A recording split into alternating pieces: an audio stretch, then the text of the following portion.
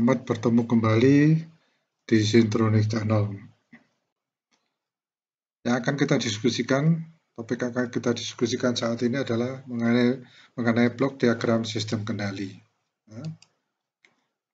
Diagram blok terdiri dari satu blok atau kombinasi blok. Ini digunakan untuk mewakili sistem kendali dalam bentuk gambar. Ya. Elemen dasar diagram blok adalah blok dengan titik penjumlahan dan titik pengambilan. Ya. Mari perhatikan diagram blok sistem kendali loop tertutup seperti yang ditunjukkan pada gambar untuk mengidentifikasi elemen-elemen ini. Nah, kita lihat blok ini, ya. ini ada titik penjumlahan, ya. ada dua blok yang memiliki fungsi alih, GS dan HS. Ya.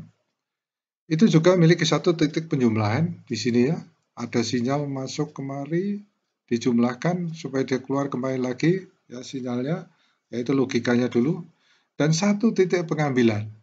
Ini pengambilan di pengambilan titik ini ini akan menentukan apakah nanti umpan balik ini menjadi plus atau min. Ya. Panah menunjukkan arah aliran sinyal. Ya. Sekarang mari dibahas elemen-elemen ini satu persatu. Blok fungsi alih suatu komponen diwakili oleh sebuah blok. Ya. Blok memiliki masukan tunggal dan keluaran tunggal. Ini ya masukan tunggal, keluaran tunggal. Ya. Gambar berikut menunjukkan sebuah blok yang memiliki masukan XS, keluaran YS, dan fungsi transfer GS. Fungsi transfer GS, ya ada YS per XS. YS ini adalah keluaran, XS adalah masukan. Ya. Sudah kita tahu untuk kita begitu kita sederhanakan maka yang kita dapatkan adalah YS sama dengan GS kali XS. Ya. Keluaran dari blok, di blok, dari blok diperoleh dengan mengalihkan fungsi transfer blok dengan masukan. Ya, keluarannya ya, tadi yang titik pengambilan tadi ya. Titik penjumlahan. Titik penjumlahan dilambangkan dengan lingkaran yang memiliki tanda silang X di dalamnya, tanda silang ya. Ini memiliki dua atau lebih masukan dan keluaran tunggal. Ini menghasilkan jumlah aljabar dari suatu masukan. Ini juga melakukan penjumlahan atau pengurangan atau kombinasi penjualan, eh, penjumlahan dan pengurangan eh, masukan berdasarkan polaritas masukan. Marilah kita lihat ketika operasi ini satu persatu. Nah, gambar berikut menunjukkan titik penjumlahan dengan dua masukan A dan B. A, B. A positif, B positif. Ya, sehingga hasil penjumlahannya ya, adalah Y sama dengan A plus B. Nah, plus plus A plus B.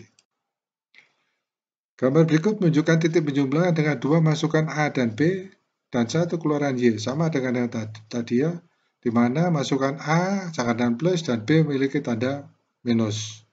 Ya. A positif, B penanda negatif. Jadi titik penjumlahan masing-masing menghasilkan keluaran Y sebagai selisih A dan B. Ya.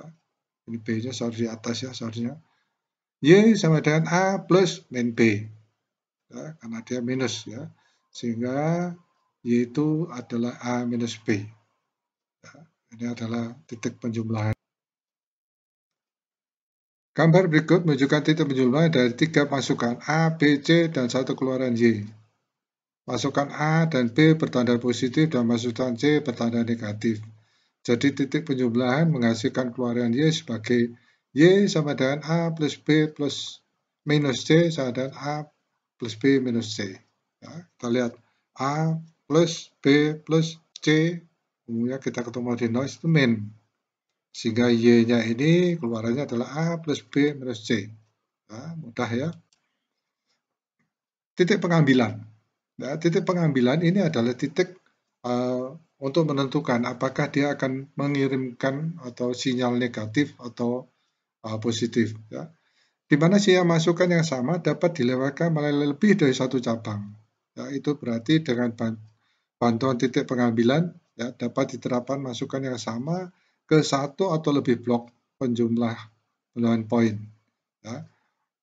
Pada gambar berikut, titik pengambilan pengambilan digunakan menghubungkan masukan yang sama. Ya, RS ini ya untuk memasukkan ke GAS ya mendapatkan keluaran CAS ya yang kedua GBS ya untuk keluaran CBS ya Ini jadi ini anu ya, fungsi transfernya ya, yang dikalikan tadi.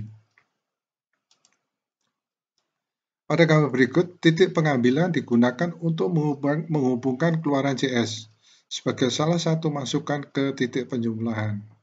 Nah, ini titik pengambilannya di sini. Ya.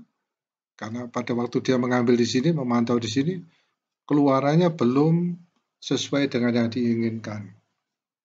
Kembalilah dia kemari. Ya. Misalnya sudah lebih, ya, dia akan memberikan uh, masukan negatif. Ya.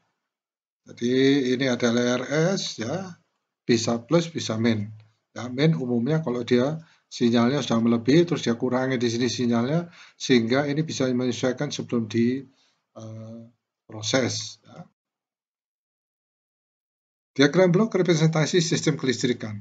Ya, pada bagian ini digambarkan sistem kelistrikan dengan diagram blok. Ya, sistem kelistrikan terutama mengandung tiga elemen dasar yaitu resistor, ya, induktor dan kapasitor. Itu sudah kita diskusikan uh, pada apa uh, diskusi yang lalu ya. Perhatikan rangkaian-rangkaian RLC seperti pada gambar berikut, di mana v, VIT ya input T, dan V output T adalah tegan masukan dan keluaran. Ya, misalkan IT adalah arus melalui rangkaian. Ya, sirkuit ini dalam domain waktu, ya, T waktu. Ya, kita lihat ini sudah sangat familiar dengan dengan dis, apa, diagram yang kita sudah diskusikan pada saat yang lalu. Tahanan, induktor, kapasitor. Ya, ini domainnya adalah T. Ini V tegangan uh, input, ini tegangan output.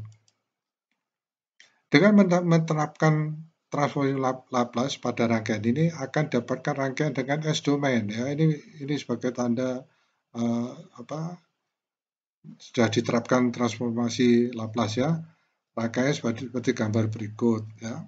Sehingga dari domain waktu menjadi S domain S ya domain S. Kemudian yang di sini uh, yang induktor menjadi SL ya. Sedangkan konduktor adalah satu per SC nah, ini sudah domain uh, ini sudah di apa transformasi Laplace dari rangkaian di atas dapat ditulis IS sama dengan V input S dikurangi V, 0, uh, v output S dibagi R plus plus SL.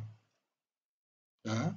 Di mana IS ini sama dengan satu. Jadi begitu kita sederhanakan ya, ini kita keluarkan ya, 1 per R plus SS plus SL ya, kali V in, input S kurangi V output S. Nah, ini persamaan yang pertama.